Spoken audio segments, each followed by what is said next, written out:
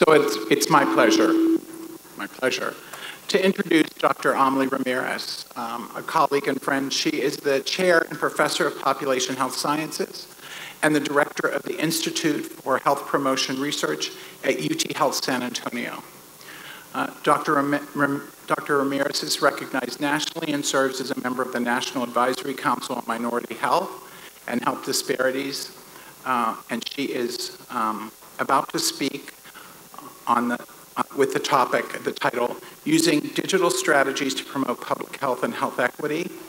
I ask you to please give a warm welcome to Dr. Amelie Ramirez. Dr. Ramirez.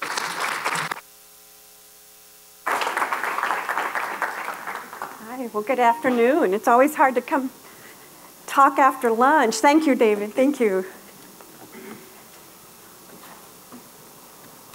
Really great to have David back in San Antonio. We, we miss him dearly, so thank you for being here. Um, I hope everybody's enjoying San Antonio. Sorry that we don't have the nice sunny weather that we had on Sunday.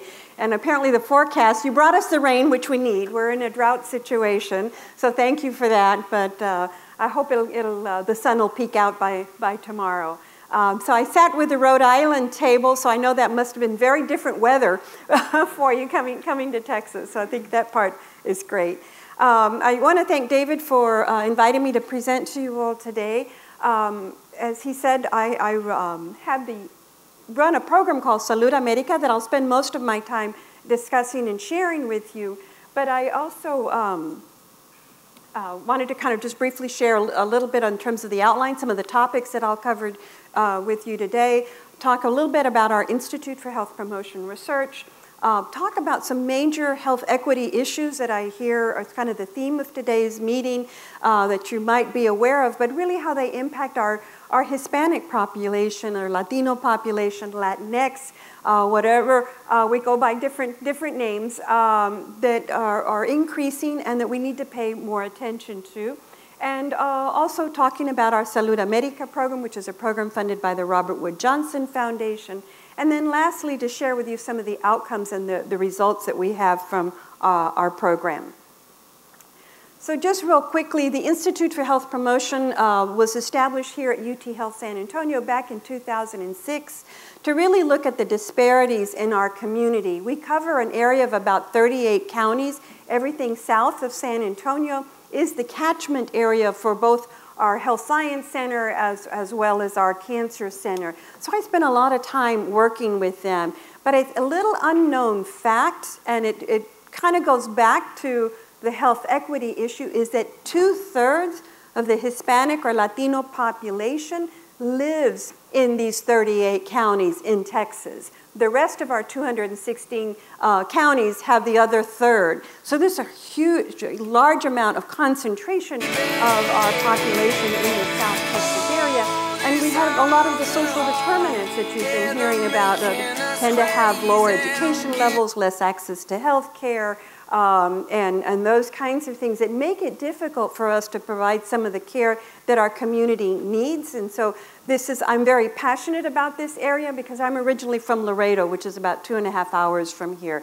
So um, I really have devoted my life to really focusing on Latino health uh, issues. Some of the programs that we've done under our institute, one of them is called Redes en Acción, that really focused on cancer prevention activities, all the way from screening through survivorship, but most of all, bringing notice to the differences within our own Hispanic population. We're a very heterogeneous group of individuals, and when I would first started looking at the literature, it was white, black, other, and then it was white, black, maybe Mexican American, other, uh, and so forth. And so this Redes en Acción uh, is over 20 years old in terms of a network that I established with the support of the National Cancer Institute to look at similarities and differences among Latinos.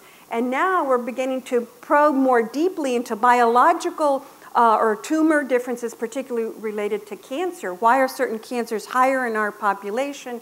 Uh, if this group is, has some cancers of for, for example, your priority cancers are less in this group, such as breast and prostate, but higher in stomach and liver, which I kind of called the orphan cancers because we really don't have any treatments. And by the time we identify individuals with these issues, they're, they're already stage four, and there's very few treatments that can, can assist them. So again, I'm, uh, in a month, I'm having a conference here just across the street entitled Advancing the Science of Cancer in Latinos. Uh, again, all the way from prevention through um, survivorship. So if anybody's interested, you know, please come and join us for that conference. Another area that I've kind of picked up uh, over lunch is the, the whole issue of pipeline. That we don't have, uh, we, we need to increase the diversity of our pipeline into the different health professions. So I have a program uh, funded through NCI called Éxito, and it really encouraged master's level Latinos to go into a doctoral program. So they come here for a summer institute with us, uh, spend a week uh, and thinking about, you know, whether they want to go to uh, apply for a doctoral program. So far, 200 of our students have been through the program. Uh, 49 are, have enrolled in a doctoral program, and 11 have already graduated. So this is a program that's, um, this will be our 10th year uh, for, for that particular program. So we're really uh, excited about the outcomes. And then last but not least, I'll spend more time talking about Salud America. But let's um, talk about some of the uh, inequities that we're seeing. Well, first of all, um, again, going back to demographics, we need to recognize that already 26% of our children between the ages of eight, 0 and 18 are Hispanic. And uh, that's currently, this is in 2020. And then by 2045, uh, 25 or more, 25 to 30% of the US population will be uh, Hispanic. And so you can see in the pie chart, you know, that, that the um, non-Hispanic whites will become uh, smaller, they're no longer 50% of, of the population, and that there's going to be more diversity. So this is something that the demographics are facing us that we, we need to say, okay, how are we going to improve the situation for, for everyone? Another area um, that's important is that this is uh, an example of two cities in California and when you look closely, he says, why are we seeing a 10-year gap in life expectancy between one population and the other? And when you dig deep and look at those social determinants, you see one community has less poverty, the other one has more, that one has more parks and recreations, uh, safe places to play and exercise, one has less. Um, the, the others, in terms of education, one has higher rates of, bachelor's degrees in their communities, another one has less, and so forth in terms of median income uh, as well. And you, you begin to see these differences.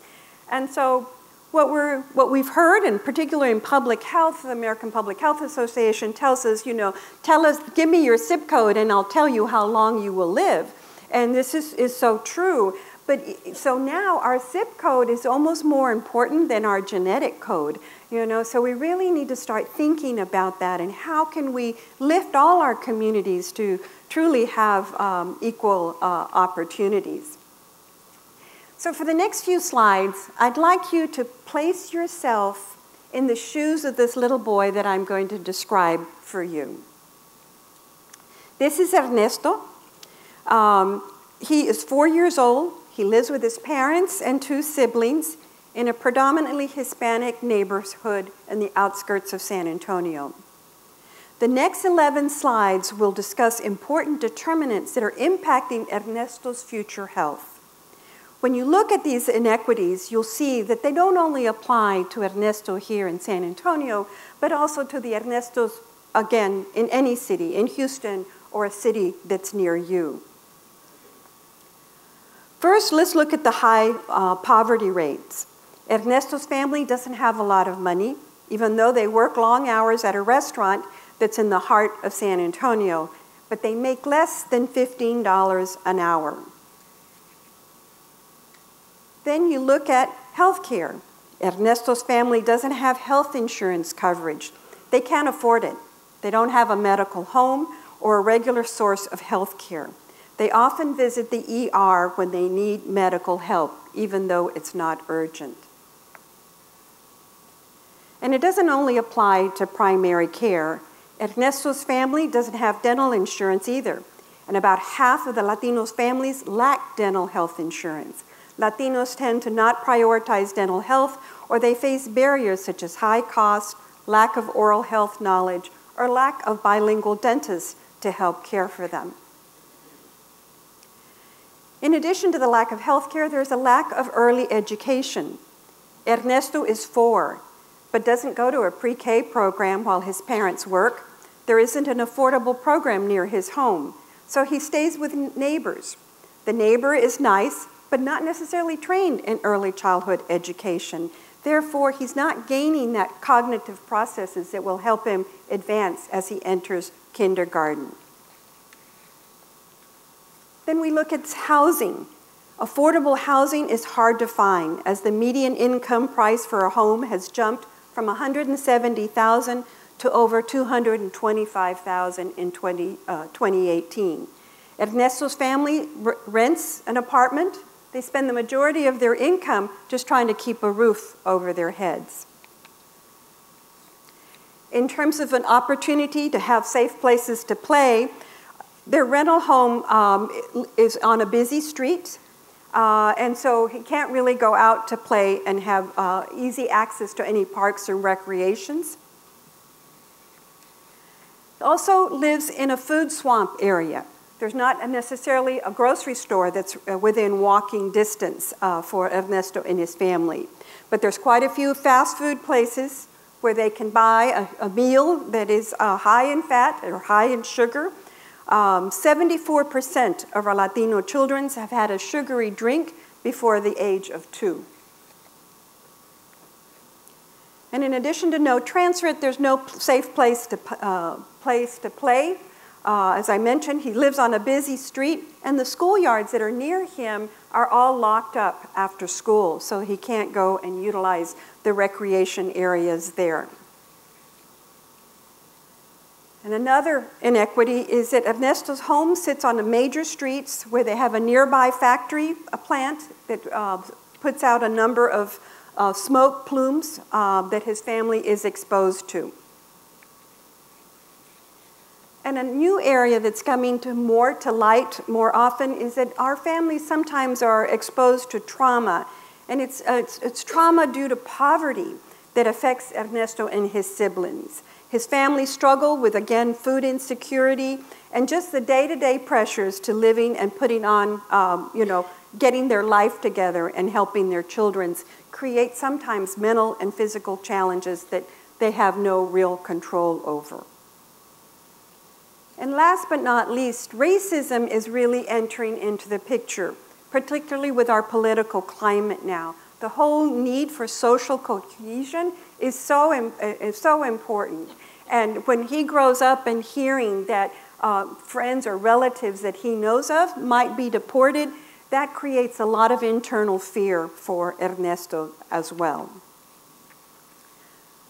So, what is this? This all adds up to a number of health disparities and inequities um, that our community is facing. And this is impacting our chronic diseases. For example, here in Texas, um, heart disease is expected to go up four and a half times. Diabetes cases are expected to go up one and a half times. And obesity related cancer cases are expected to go up two and a half times by 2030. So, and it's our community, Latino community, that's really uh, bearing the brunt of some of these increases. Texas today is the eighth highest, uh, has the eighth highest obesity rates uh, in the state. Um, and you know, so and our Latino community share some of the heaviest burdens. Um, already, about 39% of our kids between the ages of 0 and 18 are either overweight or obese. So this is where Salud America came to play. And working with Robert Wood Johnson Foundation, they said, what can we do to begin changing the system? The initial five years that we were funded through um, the Robert Wood Johnson program for Salud America was to really focus on increasing the field, bringing new strategies and ideas, and building uh, the new research to address this issue of childhood uh, obesity. But uh, they found that, that we weren't moving as fast as we would like, and they said, you know what, we might need to start looking at challenges that are facing the community with regards to uh, policy. And that's where Salud kind of made the change from a research to a social advocacy um, uh, component. And our program is designed to uh, inform and inspire uh, our advocates to create cha healthy changes in their community. And we're doing this through a really innovative uh, digital, uh, social digital framework. We first did research on three major components that the foundation had identified that were major contributors to our health inequities in the United States. The three buckets were healthy neighborhoods and communities, healthy families and schools, and healthy cohesive cultures. And under each of those buckets, there are specific issues that we have dealt with, such as affordable housing, transportation, um, better green spaces, need for more mental health programs, or um, looking at ways to reduce bias and reducing poverty. We produce research uh, briefs on each of these subject matters. If you go to our website, you can download them and utilize them. Many individuals are utilizing them to help them design new programs uh, in their communities. But that was kind of like the research in depth. We brought in consultants to help us look at these specific issues and said, okay, what's going on in the Latino community? We then have been building over the years a um, truly an infrastructure that we can work with advocates across the United States. To date, we have over 250,000 individuals that are following uh, our work.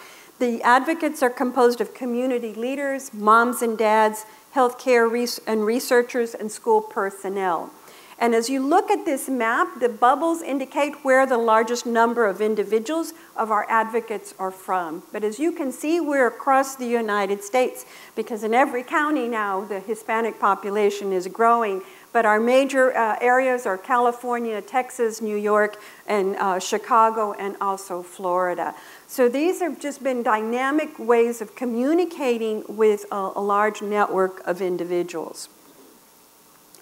And so as we built this infrastructure, what it consists of is our website that kind of contains our more detailed information, and then our social media, this can, contains infographics, videos, different types of platforms that individuals can download and share with their community. So that a parent says, you know, this issue of getting more water in the schools is important to me, they can download that infographic and share it you know, with their PTA or other individuals that they might need to uh, consider, or take it to a city council person and say, we really need to get more uh, food, uh, grocery stores in our neighborhood to deal with the, the food deserts. Um, and each of our stories is really based on this equity lens. But most of all, it's based on social learning theory by Albert Bandura. We go out and find real stories of individuals who are making change, and we highlight them. They're our heroes. They're the individuals that know how to make it work in their communities and came up with re really great solutions to the community problem.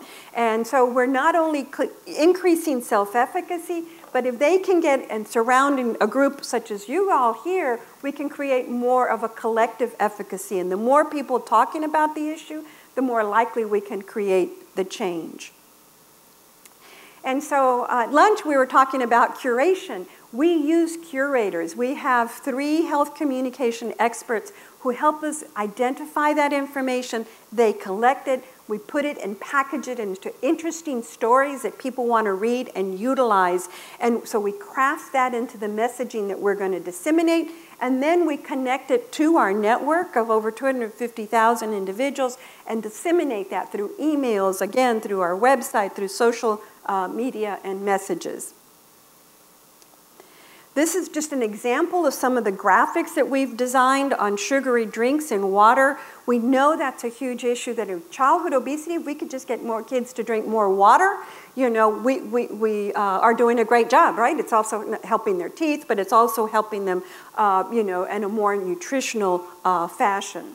And so again, all of these materials are downloadable. So um, those of you in the public health departments who are interested, please, uh, please feel free to, to utilize them.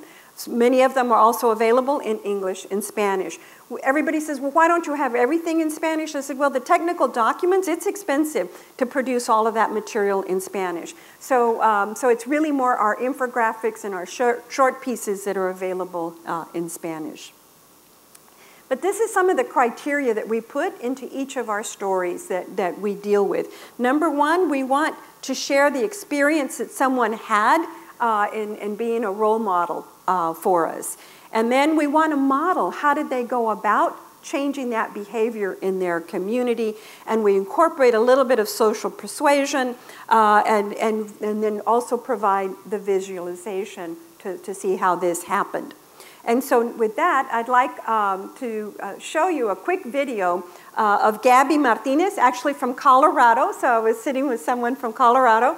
Um, this is a, a, a, promotora, a mom who's actually made uh, some change, uh, helped make some changes in her community. A mom turned promotora helped push tap water as the healthiest drink option in the 71% Latino Westwood neighborhood in Denver. Bueno, cuando yo llegué eh, pensaba que el agua de la llave no era segura y que por lo tanto tenía que hervirla antes de beberla. porque generalmente en algunas partes de, de, la República Mexicana o de Centroamérica el agua no es muy segura. Si no tienes agua y no confías bueno, de ella, pues que le das un jugo, a veces les pueden dar un refresco, que es lo más común que, que las comunidades o que todas las familias tengamos en casa. And kids are receiving these beverages at breakfast, at lunch, as snacks, at parties. And so kids are getting inundated with sugar. And for this reason, we have one of the highest rates of obesity and diabetes in the city of Denver. And we have epidemic proportions of cavities in the community. Escuché por el dentista de mis hijos que debían de beber ellos el agua de la llave porque tenía flúor y eso les iba a ayudar a proteger sus dientes. Fue cuando yo tomé la decisión de, de tomar el agua, pues me di cuenta que pues no tenía mal sabor. Fortunately, Delta Dental of Colorado Foundation was working with local groups to promote oral health and tap water. Westwood Unidos was a good match. And we realized this is the right fit for us. This is perfect for us. There's so much that's already going on there. There's really not much going on with oral health. Delta Dental understands that if a community is going to make a change, it needs to happen from the inside out. And the community itself needs to identify the strategies that will work the group conducted focus groups and got an idea. They could use promotoras, community members who are trained to promote healthy behaviors among their peers to push water and oral health. They decided to hire two water promotoras. Gabby was first in line. Así como yo estaba equivocada eh, cuando yo llegué aquí, eh, sé que muchas de nuestras, eh, nuestra comunidad también lo está.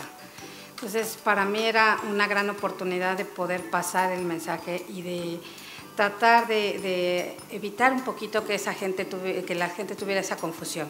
In 2015, Westwood and Delta Dental partnered to have Gabby and other promotoras deliver culturally competent oral health and tap water seminars at schools, churches, and other spots. Aprendimos que le demos menos, evitar las bebidas azucaradas y darle más agua a los niños de beber. En primero, a cuidar los dientitos de leche, que es la primera base que viene en sus vidas. Pues a mí se me hace bien para evitarles también en un futuro caries en sus dientes y ellos vayan aprendiendo la importancia de beber agua. No he dejado de venir a todas las clases que da y, trato de, de, si alguna pregunta tengo, lo, lo, ¿sabes qué, Gaby? Oye, Fíjate que me encontré que este no tiene azúcar o tiene mucho azúcar, ¿cómo ves tú? Y ella investiga y ella me lo dice. We've reached approximately 500 parents who have participated in the campaign, and we have 14 schools that have already hosted the campaign, and they all are very eager to continue to work with us. We are going to grow next year, and we're going to start working on school policy. We've trained 25 parents to work at their local schools on increasing water and decreasing sugary beverages. Delta Dental also is taking a long-term, multi-audience approach to change norms around water. We really want to work with sports leagues, with coaches, and with moms and dads whose kids are in those leagues to try to create new norms. Hey, rather than juice after practice, let's have water. Creo que nosotros como papás nos podemos educar y, eso va a hacer que nuestros niños estén educados porque van a ver nuestro ejemplo. Si a tu niño no le gusta beber el agua solita por el sabor, ponle fruta, ponle hielo o tenla en, en el refrigerador y eso de verdad que va a ayudar. Son pequeños truquitos que uno puede aprender y eso nuestros niños lo van a ver y los van a tomar.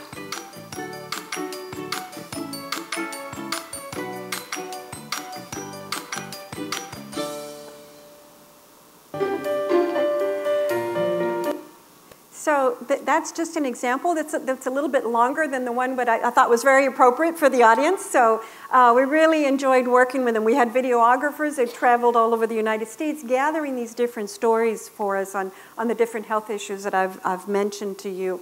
Uh, another example is that we've designed some toolkits because we wanted to give communities more things that they could easily download and utilize. So we came up with something called action packs. And so here we were working with our Comal uh, Independent School District, and they said, you know, we'd like to incorporate water stations in our schools, again, so we can get rid of the vending machines and that the kids would just get used to bringing their own uh, container for, for putting water and drinking more water.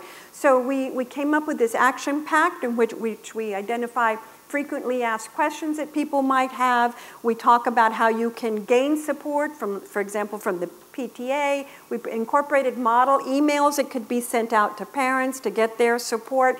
And then our curators also uh, acted as um, support uh, individuals, uh, coaches over the phone if anybody had any uh, concerns. So this is just one example, and here um, um, we had over 117 downloads for this uh, information on how to establish water bottle stations in the schools. Um, this was a quote from, from one of the individuals that we worked with. She said, Salud America was really a catalyst for us to helping us accelerate the conversation with, uh, with our community and with our parents. Another is, as I mentioned, trauma is a big issue that's facing our schools right now. Uh, we worked with a former coach who was uh, then became kind of a truant officer, and he said, you know, I, it really saddened me when I found out kids weren't coming to school, but they weren't missing school just to miss school. They were staying at home to take care of a parent or younger siblings because the parents had to go to school, or there were other issues that were facing that particular family. So he developed a system where the schools could be more sensitive to how they could help their, their students uh, succeed and flourish. Uh, and so he developed a trauma-informed um, program for the school. So again, we interviewed him, we designed a toolkit that again, other schools could utilize. And through our network and through, uh, we've had over 600 uh, individuals across the US who have downloaded this particular toolkit to try and utilize in their communities. Another one was called um, Handle with Care. This is, we found uh, a small city was utilizing, the police department was working with the school districts that if they went in to a family's home due to perhaps maybe a domestic violence situation or something else that might have come up, and that there was a small child in the school, they then immediately informed the school of the situation. So when that child returned to school, again, the teachers or individuals providing the support network for that child could be more informed and prepared um, to help them. And so again, this, this has led to over 400 downloads that we've received of, of communities wanting to learn more about this program. And then we worked with one of our state representatives here. He said, you know, he was visiting the schools. He says, you know, I notice a lot of food is thrown away that's not even touched or opened by the kids. Why can't we do something about it? So one of the nutritionists in our San Antonio ISD district said, well, maybe we can open up some kind of a food pantry for, for the kids. And that's what they did. They developed a pilot program here in San Antonio, and now the state has passed giving um, schools the opportunity to, to develop these food pantries. And what they did, you know, for ch- children who may get their meals mainly at school and don't have something in, for dinner, they can take a little brown bag home with them or over the weekend. And so they have set, you know, set aside special uh, refrigeration and so forth and, and have a process for maintaining these food pantries. And again, this has led to over 700 uh, downloads uh, nationwide. And another mechanism that Salud America has been uh, working on is um, also dealing with public comment. Sometimes we, right, we hear, hey, we need your comments, you know, new guidelines are coming out and so forth. We're pretty quiet. Well, this is a new area that we've been involved in and say, for example, the physical activity guidelines were coming out we can let our network know and they can then tell us, hey, yeah, we can easily send that form letter and get that one to our state legislator or to whoever it needs to go back to. And so, for example, on the physical activity guidelines, we had 73, we were able to mobilize 73% of our network to send in responses. Another one was like, you know, keeping pollution out of our groundwater you know, uh, with EPA, and so we were able to send, again, a, a response network of over 10%. So there's a way to track who actually responds to these things. And then another one was, you know, 2030 didn't have anything to include on trauma. We're going, why shouldn't our healthy people objectives include something on childhood trauma? So we got a, a response or email sent to our healthy people uh, organization. And then here in Texas, we're really trying to get better um, safety goals uh, in terms of pedestrian crossings and so forth. So again, we're trying to promote uh, safer streets. And, and again, our Texas network uh, sent in dozens of letters to our, our state legislators. So these are just different levels of communication, some stuff that we're doing at a mass level, some stuff that we're providing toolkits, and then now this kind of national response to things that are going on uh, on a national basis. Um, but another some, uh, item that we've developed that's really been getting a lot of attention, and we hope that, that you'll take some time to do this. We've created something that's called the Health Equity Report Card. You go onto the Salud America website and just enter the state that you're in and your county, you can get a, a, a detailed report uh, based on national data that's, uh, that we've integrated into our system to uh, get an overall health equity report on your community where you can look at poverty rates, housing, transportation, healthcare issues, the environment, food access, and so forth. And so this is just a really neat piece, and we've been told people are using it for like community grants because it's all the information that's all in one place that you can document that um, you need this kind of uh, information. Um, and then we also have uh, what we call our, our Salud Tuesday tweet chats. Every Tuesday from 12 to 1, we deal with different topical issues. And we've actually worked with ADA in getting information out, and along with the Hispanic Dental Association. Uh, and and the, the, the bigger the dot are the bigger connectors, and then the small dots are the networks that everybody's reaching out to. And with one Salud tweet, we can re- have over 8 million impressions that people are seeing that information, liking you, you know, communicating with us in some way. And so uh, this has really been neat. And then we also did one around Valentine's Day that was focused on, um, on childhood dental health. And um, this is, again, uh, a distribution of the individuals that partnered with us. We come up with a script. We involve the different uh, organizations to work with us so that we are feeding off of each other and then each one is uh, disseminating that information to, uh, to their networks. This one, I think, had about a 400 billion um, tweets, impressions. Uh, and you said, well, okay, this is pretty fancy that's out there and so forth, but is it really working? And um, we had, um, we, we have our own internal evaluation, but we also have had external evaluations by the Robert Wood Johnson Foundation. And we have proved that this approach works, that we can engage our communities either at the kind of local, uh, as, as small as a school level, at a local level, state or federal level. And we sent out survey responses, and we can show that those that were engaged with us more were more likely to get involved in some kind of advocacy uh, action. And then this is our model. We said, okay, you know, can we, through this engagement model that we've designed, are we really uh, having an impact on advocacy. And as you can see here, both self-efficacy and collective efficacy were important for creating uh, that specific avenue for action.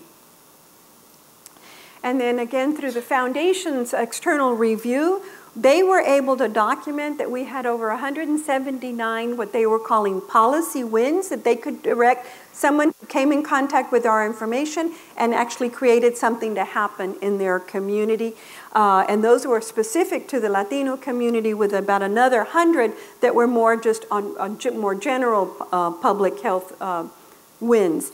And they put a dollar amount on it that for each win, that would accumulate to about 16,000 per policy win.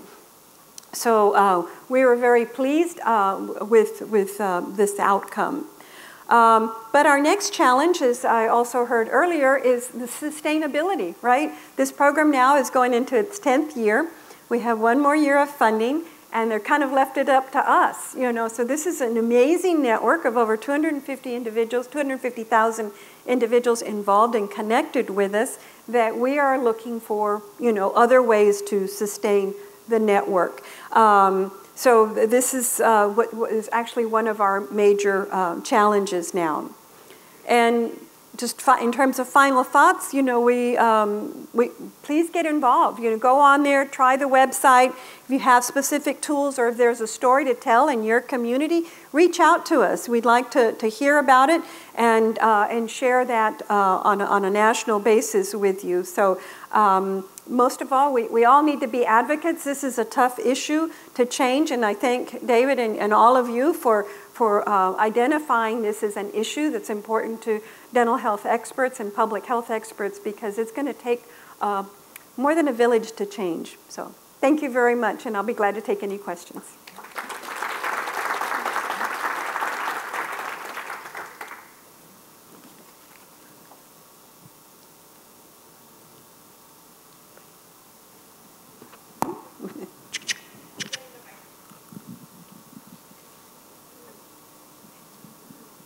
Thank you so much. Um, the really excellent information. Probably spend a whole conference on this, right? Diving into your resources. So, um, wondering, uh, could you just go back to the um, projection, the health projections you made for diabetes? Is that based on demographic projections or in current data of obesity, or mm. I don't know, or because I think a lot of states with demographic shifts, right. whether for older adult growth, right.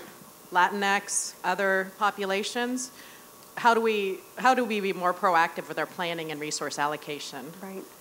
I, I think that's where again prevention is really going to be a key and we're all looking for that prevention story to show the volume of dollars saved but it takes a long time to follow you know prevention but if you're seeing diabetes i mean obesity already increasing and at 39% in, in your youth you know particularly hispanic youth uh, they're already showing up with signs of um, acanthosis around their neck, uh, you know, and so forth. And so these are going to be kids that aren't going to outlive their parents because they're going to be dealing with chronic diseases a lot earlier than their parents have. Well, I would just say that's a dental exam that could flag mm-hmm. Right? Yeah, exactly. Yeah, exactly. A head and neck exam could flag right. that. That's why our workforce, clinical mm-hmm. workforce is important. Yeah, I think this cross, and you know, that, that discussion I think is really important, that cross-disciplinary interactions and how we can, because before, we've always been in silos, how can we work together now, right? American Heart, ACS, dental, whatever, uh, we, we need to bring our minimal resources together to have a greater impact.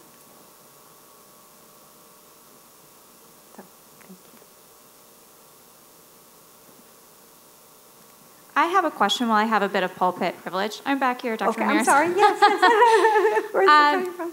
If we are an organization that are that's maybe looking to start that digital advocacy, where where do you feel like the hallmarks are? Where should we start with? What should we focus our efforts, particularly if we're small? So if we don't have the resources of Salud America and we really want to get into the digital advocacy in terms of health equity, where should we start? Where would your advice be? Well, I think you need to identify who's going to be your major audience. You know, uh, those of us as health professionals, like we don't, don't send us another email, right? we're, we're inundated. We don't want to see another one or, or put it in, you know, some other format. So I think you really need to identify who is it that you're really trying to reach. From, for us, it was always really out and trying to get this advocacy network. It does take resources. We work very closely with Facebook. We have ads. We have people to kind of bring people into the system.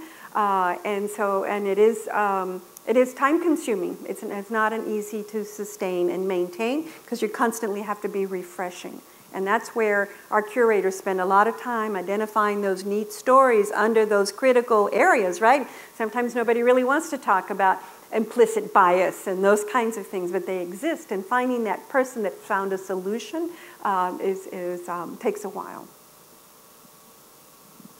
I'll keep asking questions yeah, if nobody no, else sure. has them. um, so there's some statistics out there that seven states are homes to three quarters of the Latinx population in the United States. Um, so for those seven, those of us from those seven states, Mm-hmm. including Texas and others, um, how in public health, I mean, is there a lot of movement for immigration policies to protect public health and other other policies that we should look be looking much more expansively to protect those who have documentation status issues and then their communities because mm-hmm. there's also research that shows one person with documentation status issue creates a whole family or you know Right. a whole household that go mm-hmm. underground into probably pre-penicillin times you know in our neighborhoods and our communities so No. immigration policies other policies that we should be focusing on One of them for me, um, because we're, I, I- deal a lot with cancer, and what we find is that you can screen and get maybe some free screening, but you can't treat, right? So, so it's the treatment area that we really need to kind of come together. And I, I tell everybody our safety net organizations are like a quilt ready to tear because they're overburdened, especially right now. Uh, you know, a lot of our charities and our church-based programs and so forth, you know, they're taking the brunt of a lot of this right now. So that we really need to look, what is that safety net? And, um, you know, what is our obligations to screen? Uh, and if we screen and find something, the obligations to be able to provide some kind of treatment uh, for the individuals. Yeah. So that, I think, I know that's my challenge.